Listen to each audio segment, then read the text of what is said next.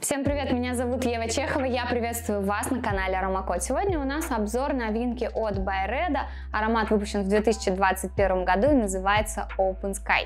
Подписывайтесь на наш YouTube канал, если вы этого еще не сделали, жмите колокольчик, чтобы не пропустить следующие видео, и мы начинаем обзор.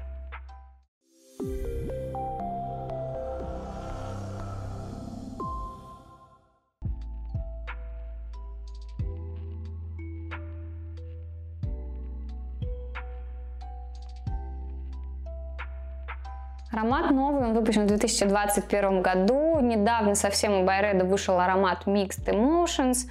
Это дань 2020 году, уходящему и следующему 2021. Мы оставим ссылку в описании под видео. Я там рассказывала о аромате Mixed Emotions. На сегодня еще одна новинка Open Sky. Нот не так много, в верхних нотах помело, черный перец, в средних, собственно, глава аромата конопля. Еще в базе ветивер и пало санта. Давайте подробнее. С самого начала слышу помело, чуть-чуть, буквально он добавляет просто сочности и сладости. Как будто откусили чуть-чуть кусок.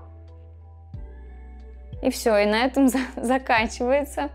Перец тоже слышу в отдалении. Для меня верхние ноты скорее составляют единый аккорд, но ни в коем случае не отделяются от средних, от базы.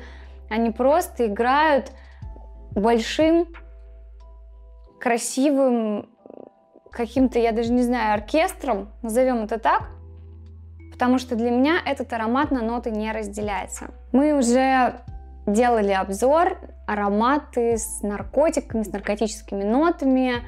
У нас есть на канале это видео. Open Sky, естественно, туда не входил, так как это новый аромат. Самый известный аромат с нотами конопли, марихуаны есть у Eccentric Molecules, это кински. Если сравнивать их, я думаю, что все понимают, что я их буду сравнивать. Вот этот намного мягче и красивее. Кинский острый аромат для меня слишком, слишком про коноплю, слишком острый. Вот все, что over.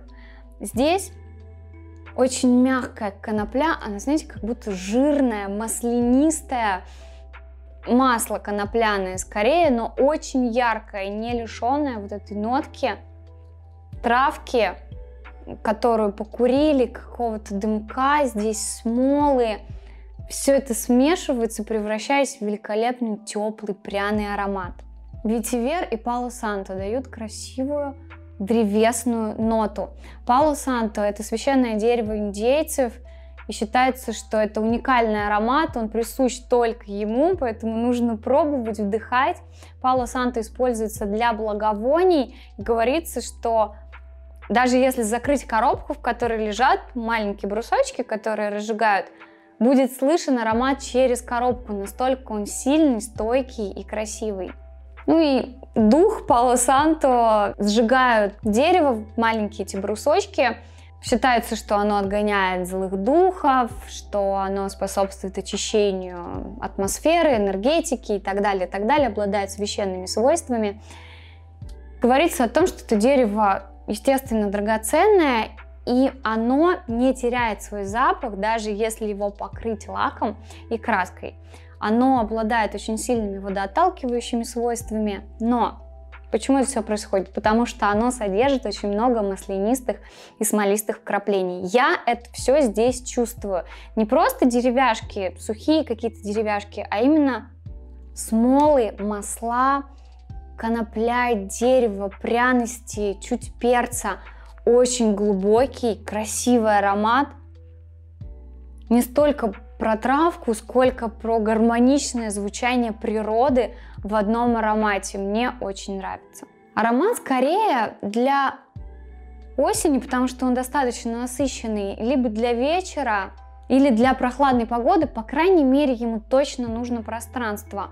Он стойкий, больше 8 часов точно будет держаться на коже, на одежде до стирки, скорее всего. Он достаточно масляный, вот вряд ли это будет видно, но он на блотере оставил следы, хотя он прозрачный по цвету, сам парфюм, но он оставляет следы, поэтому он точно не, для светлой одежды, по крайней мере. На темной одежде еще как-то, но все же парфюм для кожи, для волос, потому что на одежде он может оставить жирноватые масляные следы. Шлейф, если будет пространство, если будет ветер, будет дальше двух метров однозначно, потому что даже вот так слышу его с блотера, даже вот так, мне кажется, я его слышу. Если это будет микронанесение только вот на какие-то точки, то это будет шлейф не дальше вытянутой руки. Но это не тот аромат, который сидит близко к коже, он заметный, он яркий. Если вам хочется добавить какого-то настроения себе, однозначно этот аромат попробуйте.